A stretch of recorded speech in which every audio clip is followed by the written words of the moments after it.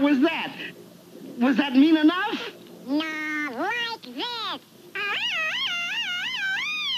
Oh, that was awful. You scared me.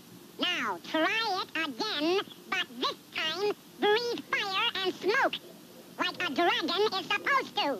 Well, I'll try, but, but don't yell at me. I'm very high strung.